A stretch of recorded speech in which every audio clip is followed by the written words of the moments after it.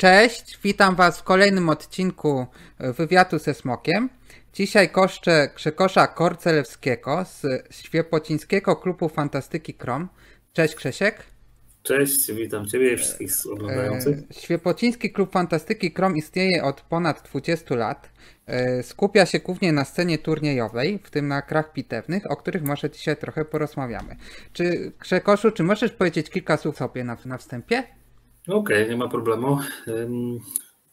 Tak jak już wspomniałeś, nazywam się Grzegorz Gorzelewski. Tak naprawdę byłem inicjatorem i współzałożycielem naszego klubu jeszcze za czasów e, liceum, czyli kiedy, kiedy jeszcze internet niezbyt działał.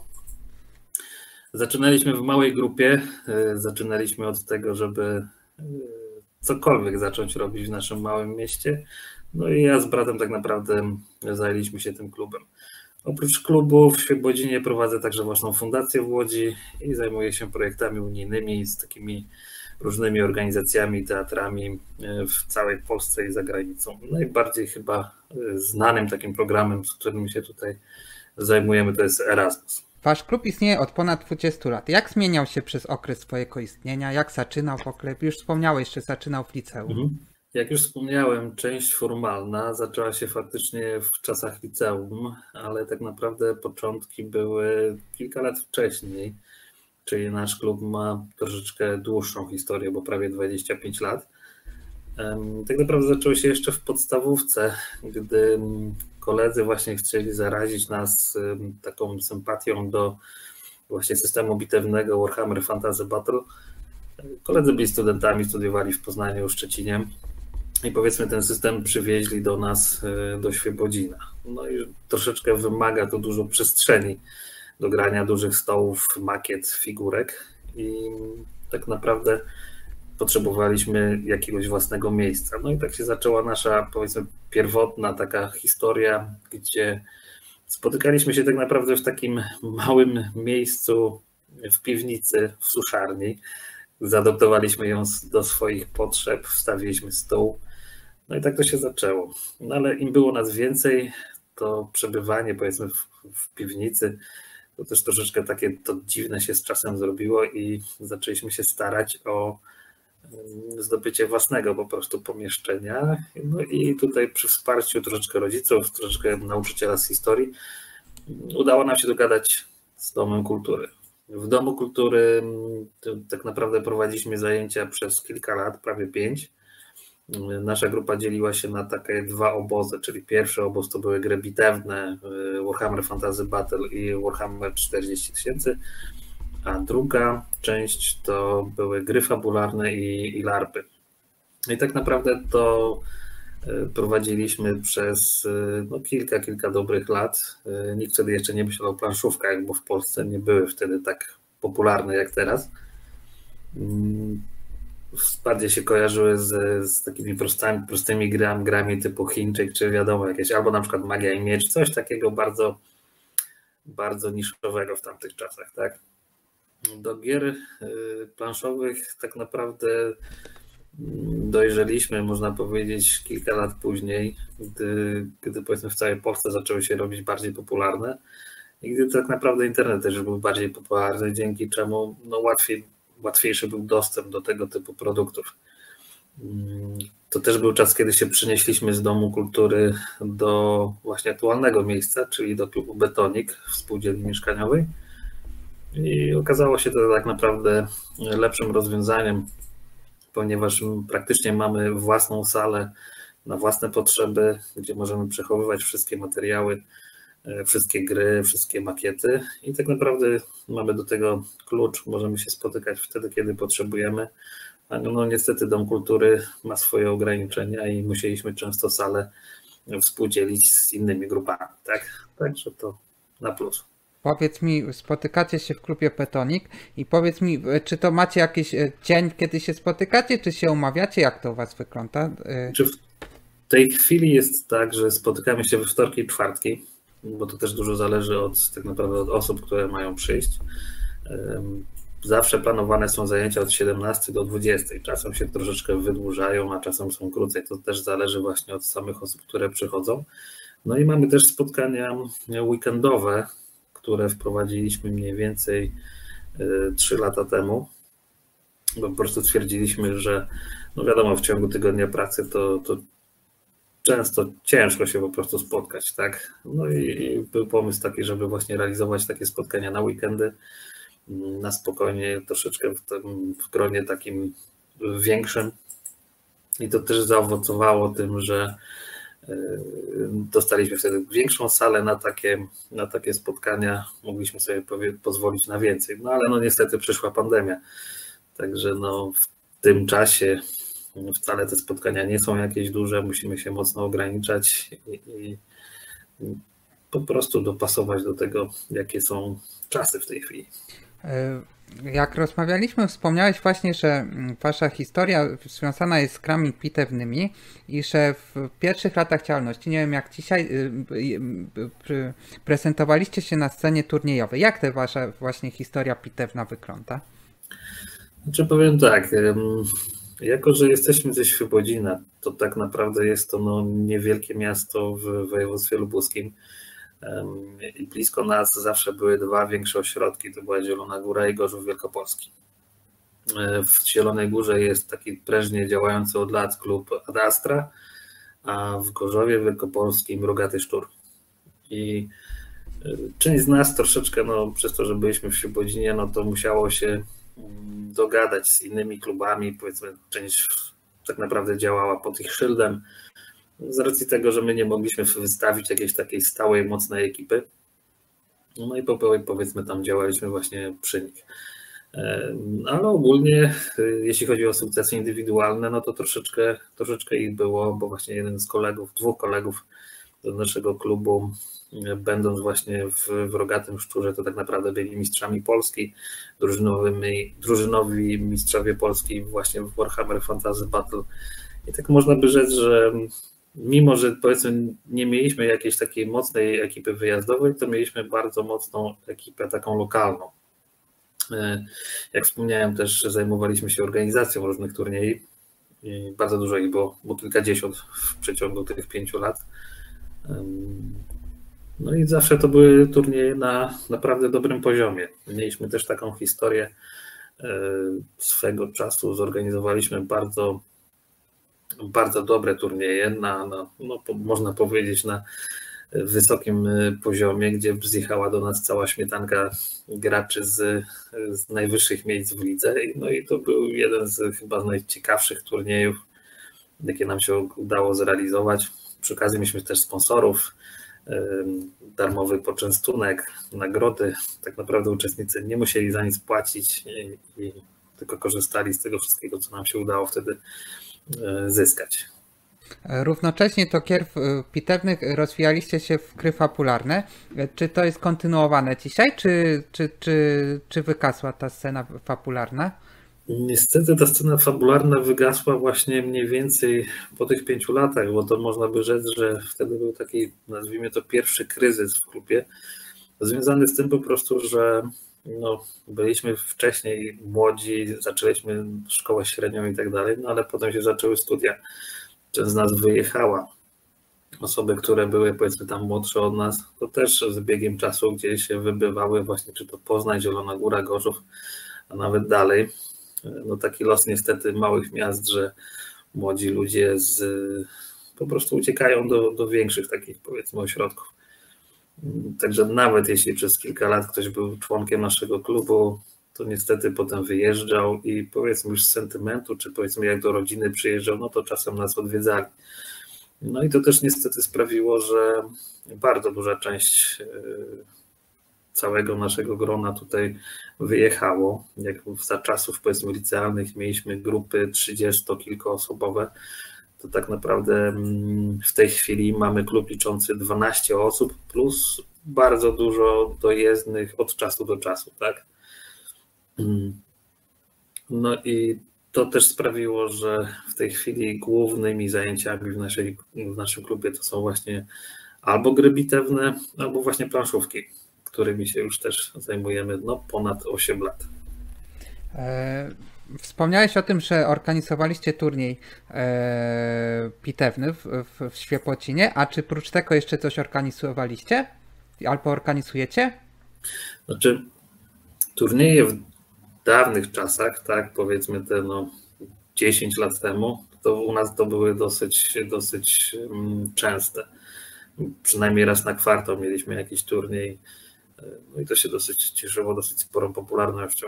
W tej chwili mm, odstąpiliśmy od e, formy turniejowej z racji też tego, że osoby, które zostały na miejscu, mm, wolą taką rozgrywkę bardziej towarzyską, a nie powiedzmy pod presją jakiegoś e, zajmowania miejsc, wygrywania i tak.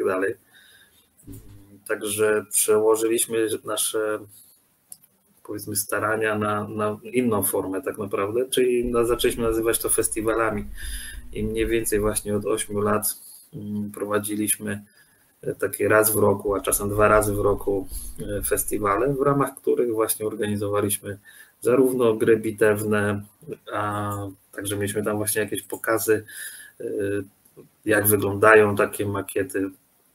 No, ogólnie bardzo, bardzo ciekawe rozwiązania, książki, wszystko się praktycznie dało zaprezentować, co było związane z grami bitewnymi, to to mieliśmy, ale oprócz tego właśnie mieliśmy jeszcze bardzo dużo mm, gier planszowych, gdzie po prostu zachęcaliśmy młodych dzieci, rodziców z dziećmi do tego, żeby po prostu przyjść i wtedy sobie pograć. W tej chwili też troszeczkę mm, planujemy właśnie nad powrotem do formy turniejowej niektórych naszych wydarzeń. Jest troszeczkę związane z tą fundacją, którą ja prowadzę, a także z, ze środkami, czy w ogóle źródłami finansowania, które udało nam się zdobywać. Bo chyba tego jeszcze nie wspomniałem, że mimo pandemii to dwa ostatnie lata udało nam się zdobyć dofinansowanie właśnie z budżetu obywatelskiego i w ramach tego właśnie prowadzić różne takie spotkania z planszówkami. No niestety pandemia to też w dużym stopniu ogranicza. No ale no, jest coraz lepiej, powiedzmy, zależy jak to na to patrzy, ale organizacyjnie jest lepiej niż na początku tej pandemii i no, decydujemy się właśnie, żeby w tym roku, prawdopodobnie jeszcze w maju, zrobić jeden mały turniej, a w lipcu no już troszeczkę ruszyć z taką większą formą, no bo wtedy też obostrzenia są mniejsze i możemy sobie na więcej pozwolić. A powiedz mi, a wy mieliście taką nie scenę lokalną, taką likę okręgową pitewniaków? To znaczy lubuskie, krótko mówiąc, to jest no, jedno z tych najmniej zaludnionych województw w Polsce, tak? Więc bardziej, no, nawet nie wiem, czy, czy nie mamy mniej niż milion ludzi w całym województwie, więc to jest bardzo mało w porównaniu z innymi. I mamy właśnie dwa duże ośrodki, powiedzmy takie miejskie, to jest właśnie Zielona Góra i, i Gorzów, o których wspominałem. I te dwa miasta prowadziły sobie jakieś ligi z różnych tak naprawdę, mm, w różnych działaniach, w różnych grach, w różnych systemach. I w tych ligach tak naprawdę też my braliśmy udział, po prostu jeżdżąc do nich, czy się powiedzmy gdzieś tam udzielając. E, także no, my swojej Świebodzińskiej, powiedzmy jakiejś takiej profesjonalnej ligi nie prowadziliśmy. Był bardzo krótki okres, gdzie mm, wdrożyliśmy takie rozwiązania po prostu, tak jak było nas troszeczkę więcej, troszeczkę było osób więcej właśnie do takiego e, stałego planowania, jakichś pojedynków i tak dalej. W tej chwili no, ciężko to powiedzieć, żeby, żeby się udało w ogóle taką ligę utrzymywać, no bo większość osób to jest tak właśnie, o, praca mi pozwala, to przyjdę. Też są te osoby dorosłe, więc często to jest jeszcze kwestia rodziny. No i to co najgorsze, to jeszcze pandemia, więc nie chcemy sobie zawężać tak naprawdę możliwości spotykania się, a w, tej, w tym przypadku na razie to, to, to nas ograniczałoby bardziej, a nie umożliwiało takie spotykanie się w fajnym gronie i coś, coś podziałać. Powiedz mi, czy gdzieś będzie można znaleźć informacje o turniejach, jakie będziecie organizować? Tak. No niestety większość informacji, które w ogóle przekazujemy, to w tej chwili jest bardziej nasza grupa planszówkowa, bo to na Facebooku, to z nią, tam są jakieś informacje o tym, kiedy się spotykamy, w co gramy i tak dalej.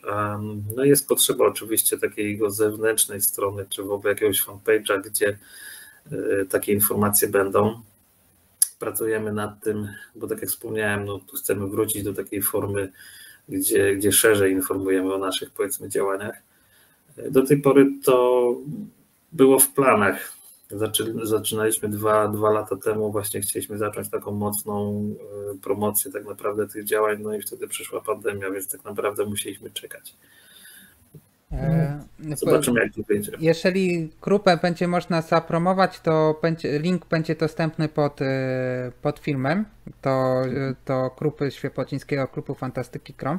Wiesz co, jeszcze w międzyczasie chciałem Ciebie zapytać, skąd wzięła się nazwa Krom? Szczerze mówiąc, nie pamiętam. Y, jeśli chodzi o samą nazwę, na pewno powstała jeszcze mm, w liceum, właśnie jak zaczynaliśmy, bo, no bo trzeba było jakąś nazwę tak naprawdę podać. E, nie potrafię powiedzieć skąd ta nazwa się wzięła, może koledzy pamiętają, ale tych, których pytałem, to niestety nie potrafili też odpowiedzieć. Na pewno mieliśmy skojarzenia bo pracowaliśmy kiedyś nad logo. E, byliśmy też miłośnikami serii gier Heroes of Might and Magic 3, gdzie mój brat e, po prostu no, grał tam, Boże nie pamiętam jak się ta, ta nacja nazywała, no ale powiedzmy chyba nie wiem, to był Warlock albo ktoś taki. E, w każdym razie była też taka postać, bohater jeden z, w grze, to był jean z takimi piorunami, tak? I jakoś tak nam się to mm, spodobało. Mój brat był fanem tej postaci, więc tak jakoś pamiętam, że to coś z tym było związane, ale teraz najstarsi gracze i członkowie klubu nie pamiętają skąd ta nazwa. Wiesz co? Wspomniałeś o. Jak dzisiaj wygląda u Was ta scena planszówkowa, o której wspomniałeś, że już 8 lat u Was istnieje? Mhm. Znaczy powiem tak, jak wspomniałem, ze, z powodu pandemii musimy prowadzić ograniczone różne spotkania. Y, nasza sala jest, no powiedzmy, przez całkiem spora. No ale po prostu też mamy ograniczenia narzucane przez y, spółdzielnię mieszkaniową, także naprawdę na jednej sali no, może być maksymalnie 12 osób. Ponieważ głównie to są jednak osoby dorosłe, E, pracujące w różnych miejscach, e, na różnych, na różnych zmianach, to jest to na tyle jeszcze dobre, że mogą się wymieniać, czyli raz przyjdą jedni, raz przyjdą drudzy i nie ma powiedzmy jakiegoś tam problemu z, ze spełnieniem tych wymagań, które powiedzmy są nam narzucane odgórnie. Mm.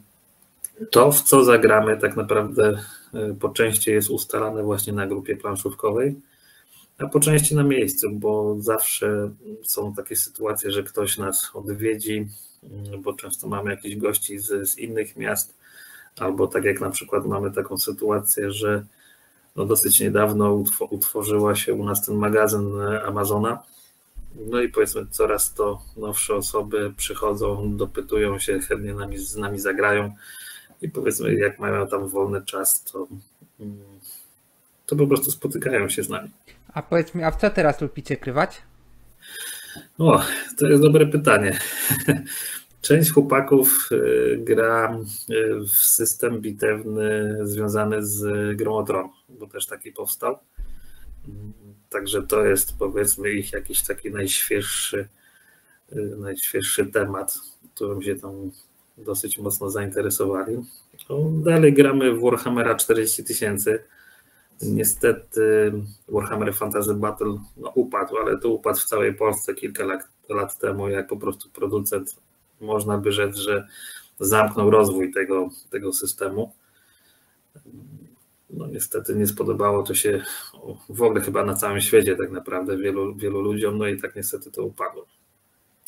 Także no mówię, te dwa systemy bitewne są główne, a jeżeli chodzi o gry, to, to, to, ciężko powiedzieć, żebyśmy mieli jakąś jedną ulubioną, bo tak naprawdę gramy od gier towarzyskich, jakichś szybkich takich rozgrywek, po, po bardzo skomplikowane gry, e, wymagające powiedzmy dłuższego, dłuższych e, rozgrywek. I tu mamy chyba no, jak spora część tak naprawdę Polski, czyli jakaś terraformacja Marsa, jakieś inne gry związane z, powiedzmy, z, z taką ekonomią i strategią.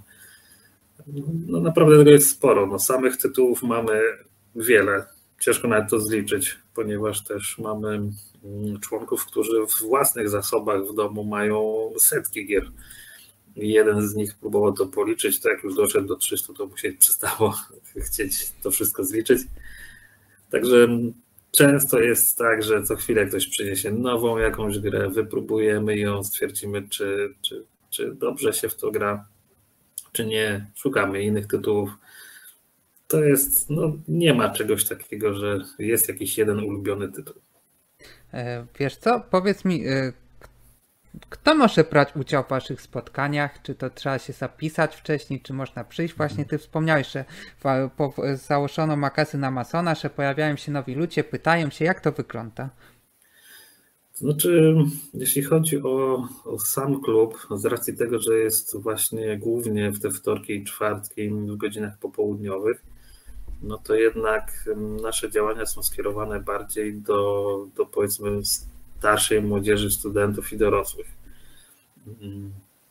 Jeśli chodzi o dzieci, no to zawsze jest to jakiś problem z racji tego, że no, no nie mamy jakichś tam opiekunów do tego. I jeżeli przychodzą dzieci, to zawsze wymagamy po prostu, żeby był tam rodzic. Jest to forma, powiedzmy, bardzo popularna w przypadku tych spotkań e, weekendowych czy festiwali. Wtedy najwięcej przychodzi, powiedzmy, do nas e, rodziców z dziećmi Często to przychodzi ojciec z dwójką, z trójką dzieci, rzadziej mamy. Mm, więc to jest też taka ciekawa statystyka. I, I, wtedy mamy tą młodszą grupę, ale tak naprawdę na co dzień to jest właśnie raczej ta starsza grupa. E, najmłodszy uczestnik, taki, taki stały, to jest u nas 13 lat ma, a najstarszy to jest tam, ojej, coś chyba około 50, nawet szczerze mówiąc bo to też zależy jeszcze w co dokładnie tam grają. Jeśli chodzi o, mm, o nasze powiedzmy preferencje, to tak naprawdę no, staramy się nie ograniczać jakichś y, tutaj osób. Jeżeli ktoś przyjdzie, kto dopiero zaczyna jakieś swoją historię tak naprawdę ze planszówkami, no to zawsze ktoś z nas swój czas poświęci na to, żeby pokazać klub, pokazać gry, zainteresować najpierw jakimiś prostszymi grami, pierwszą rozgrywkę jakąś przeprowadzić i tak dalej, a dopiero potem y, powiedzmy mm, oferujemy jakieś trudniejsze rozwiązania, tak? No i to chyba tyle. Wiesz co, chciałbyś coś powiedzieć o fundacji, którą prowadzisz? ja, nie ma problemu. Jeśli chodzi o moją fundację, to założyłem ją w 2019 roku związana jest głównie właśnie z działalnością młodzieżową. E, przez wiele lat tutaj właśnie prowadzenia tego klubu w Świebodzinie no, no, spotykałem się z różnymi problemami, nie tylko powiedzmy tam formalnymi, żeby coś przeprowadzić, no ale tak jak chyba każdy z kwestią finansowania, skąd zdobywać środki, jak realizować potem właśnie te, te, te swoje jakieś pomysły. Niestety w małych miastach zawsze był z tym jakiś problem. W 2019 założyłem fundację w Łodzi i tam dosyć szybko udało się y, zdobyć pierwsze środki i rozwijać powiedzmy tą organizację. No ale też ze względu na to, że mm, jest to większy ośrodek y, miejski i dało się po prostu więcej zorganizować różnych działań, to też tak naprawdę łatwiej zdobywać środki od grantodawców, w którym można się pochwalić tak naprawdę działaniami, rezultatami tych działań. No i to sobie troszeczkę tak połączyłem, że e, fundacja, która jest, którą prowadzę, w mocnym stopniu jakoś wspiera tak naprawdę nasz klub właśnie w Świebodzinie.